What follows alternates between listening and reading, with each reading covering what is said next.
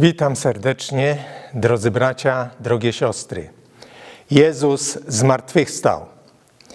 Ukrzyżowany na wzgórzu Golgoty poniósł śmierć i przelał swą krew dla naszego zbawienia, dla zbawienia każdego człowieka. Został złożony w grobie i trzeciego dnia zmartwychwstał. Pokonał dla nas szatana, grzech i śmierć. Bóg, gdy byliśmy umarli w grzechach, ożywił nas razem z Chrystusem. Gdyż łaską jesteście zbawieni i razem z Nim wskrzesił i razem z Nim posadził w miejscach niebiańskich w Chrystusie Jezusie. Jednak jeszcze jesteśmy, żyjemy tu na ziemi. To, co śmiertelne, musi przyoblec się w nieśmiertelność. A gdy to, co śmiertelne, przyoblecze się w nieśmiertelność, wtedy wypełni się słowo: Pochłonięta jest śmierć w zwycięstwie.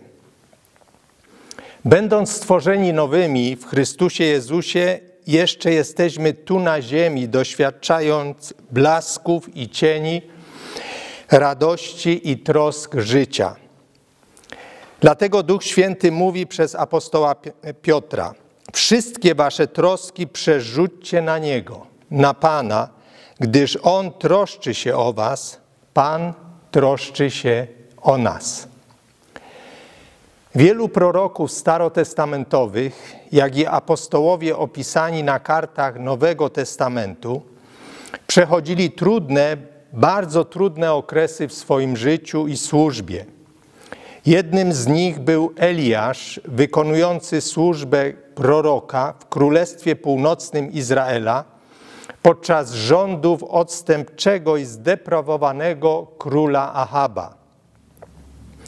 Króla czyniącego więcej zła w oczach Pana niż jego poprzednicy. Na słowo Eliasza przestał padać deszcz i przestała pojawiać się rosa. Susza tym spowodowana trwała trzy i pół roku. Była Bożym sądem mającym skłonić króla i lud do upamiętania. W tym trudnym okresie także dla Eliasza Pan, troszcząc się o jego bezpieczeństwo i zaopatrzenie, posyła go na wschód za Jordan, nad potok Kerit. Mówi mu, skąd to zaopatrzenie przyjdzie, instruuje go, co ma jeść i co ma pić. Bóg powiedział do Eliasza: Z tego potoku będziesz pił wodę, a krukom nakazałem. Jest czymś ciekawym, że tutaj Boże Słowo mówi, że Pan Bóg nakazał krukom, by cię tam żywiły.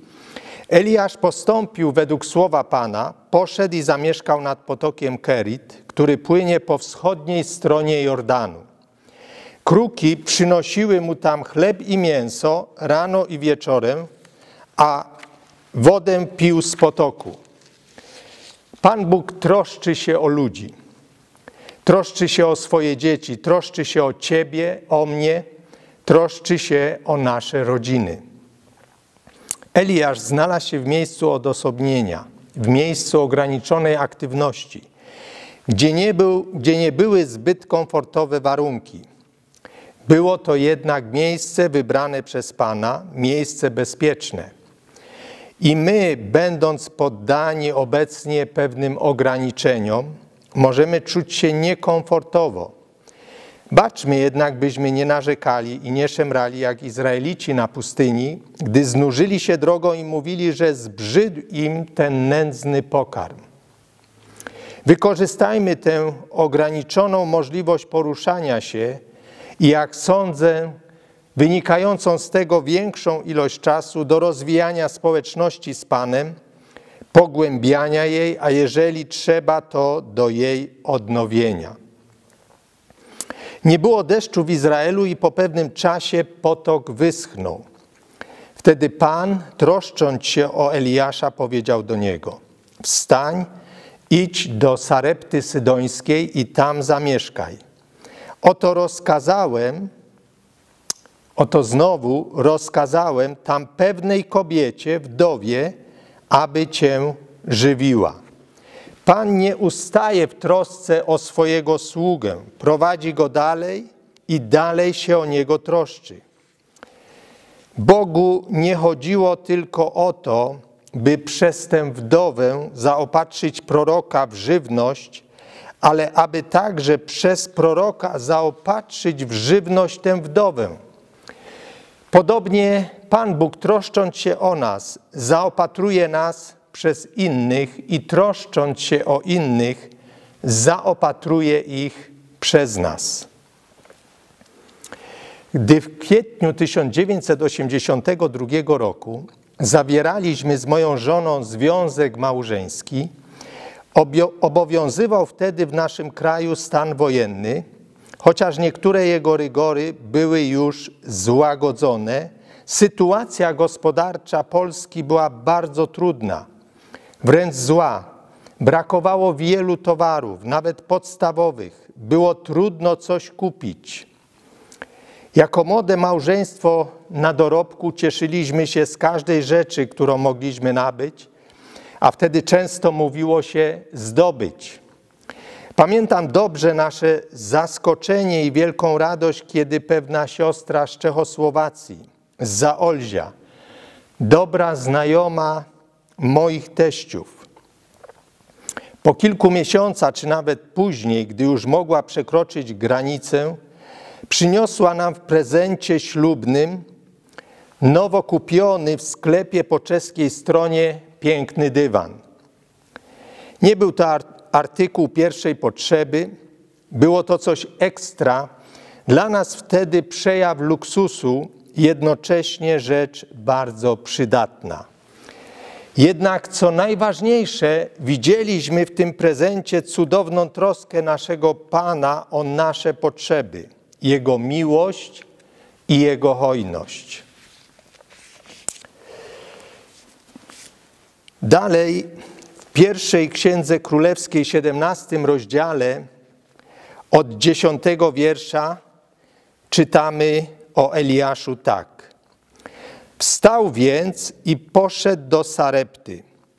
Kiedy przybył do bramy miasta, oto kobieta, wdowa, zbierała drwa.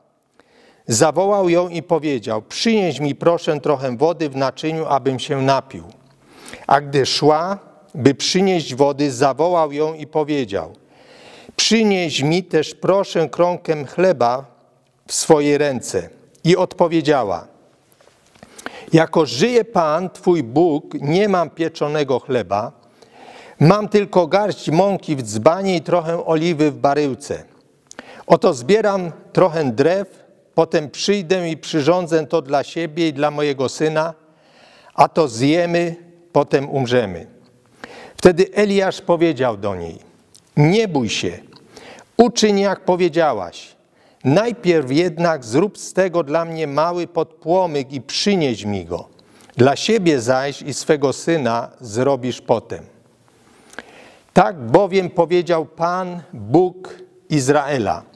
Mąka w dzbanie nie skończy się i oliwy w baryłce nie zabraknie aż do dnia, w którym Pan spuści deszcz na ziemię.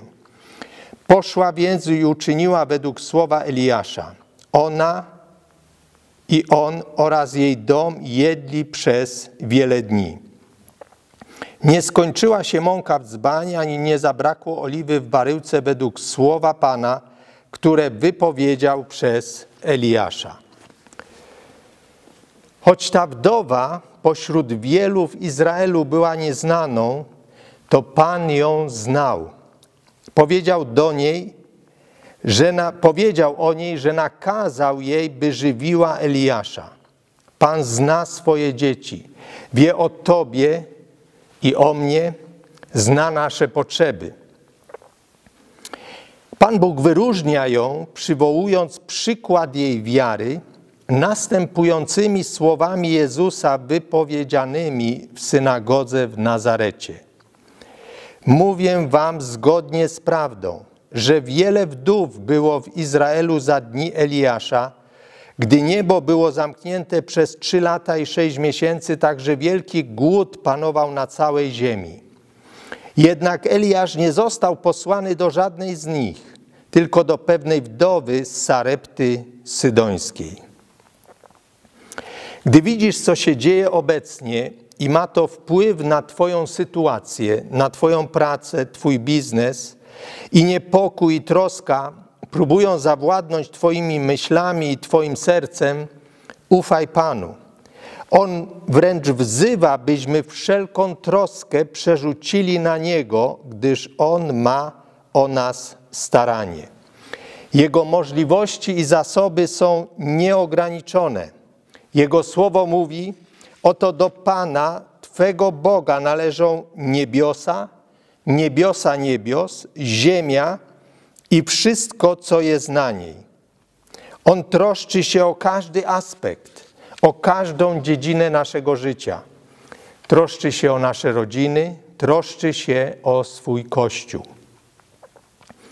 W Ewangelii Jana znajdujemy historię, gdzie Szymon Piotr wraz z kilkoma uczniami Jezusa, będąc wieczorem nad jeziorem galilejskim, kilkanaście dni po zmartwychwstaniu ich mistrza, zdecydował wypłynąć na połów ryb, a z nim pozostali uczniowie.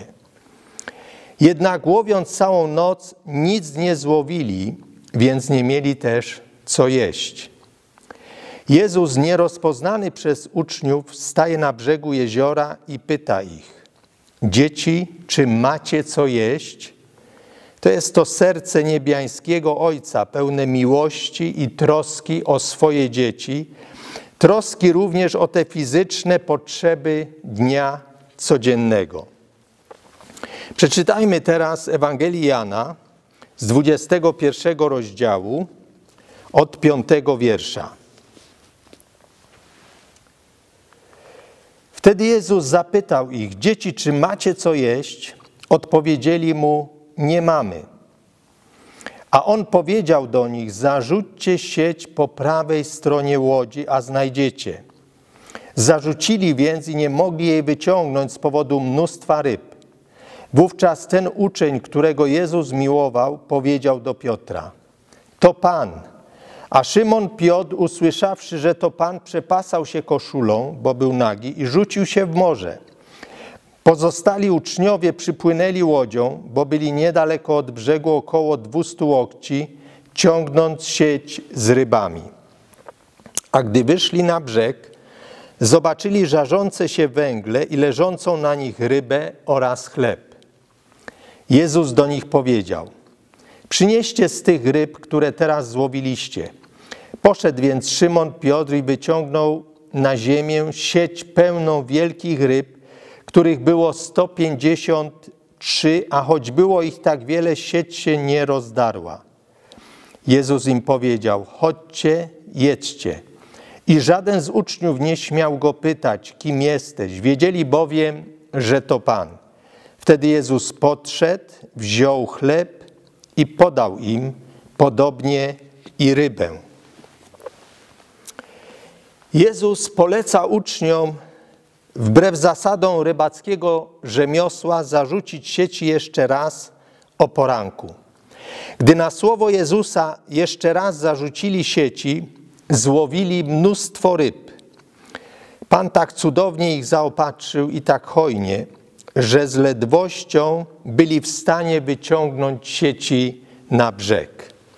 W pierwszym okresie po zmartwychwstaniu Jezusa Uczniowie czuli się zagrożeni ze strony ortodoksyjnych Żydów. Z trudem docierała do nich prawda, że on żyje, więc kiedy im się ukazał, nie od razu go rozpoznali. Pan jednak cały czas nad nimi czuwał i o nich się troszczył. Jezus, który doświadczył tu na ziemi, co to znaczy być zmęczonym, wyczerpanym i głodnym, przygotował dla nich śniadanie chleb i upieczoną na ognisku rybę. Sądzę, że wiele myśli przebiegało przez głowy uczniów. Próbowali niedawne wydarzenia złożyć w jedną całość, jednak nie zadawali pytań, bo teraz w tej sytuacji wiedzieli na pewno, że razem z nimi jest Pan i cudownie ich zaopatruje. W wierszu 13 czytaliśmy: Wtedy Jezus podszedł, wziął chleb i podał im, podobnie i rybę. Posługiwanie, do którego zostało wybranych siedmiu diakonów w zborze jerozolimskim, to Jezus tu czyni. Król królów i pan panów usługuje uczniom przy stole. Pewnie uczniom przypomniał się niedawny wieczór, gdy ich nauczyciel umył ich nogi. Jezus jest ciągle tym samym. Usługuje Tobie i mnie, ale obecnie zazwyczaj czyni to przez Twoje ręce, moje ręce, przez ręce braci i sióstr. Więc Boże Słowo mówi: Nie troszcie się o nic, ale we wszystkim w modlitwie i błaganiach z dziękczynieniem powierzcie prośby wasze Bogu. Drodzy bracia, drogie siostry, życzę Wam, aby ten świąteczny czas był czasem, w którym Wasze serca będą pełne pokoju. By był czasem, w którym będziecie radować się wspaniałą społecznością z bliskimi. A jeżeli, drodzy, ktoś z Was jest osobą samotną, niech Pan Bóg sprawi, abyś szczególnie przeżywał Jego obecność, abyś przeżywał Jego działanie, Jego zaopatrzenie w Twoim życiu. Pomódmy się. Panie Jezu, dziękuję Ci, że jesteś tym samym, jak wtedy, kiedy chodziłeś po ziemi i troszczyłeś się o uczniów, troszczyłeś się o ludzi, troszczyłeś się o tych, którzy z różnymi potrzebami, problemami, chorobami przychodzili do Ciebie, a Ty ich zaopatrywałeś, uzdrawiałeś, zbawiałeś, uwalniałeś. Dziękuję Ci, Panie Jezu, że i dzisiaj troszczysz się o nas.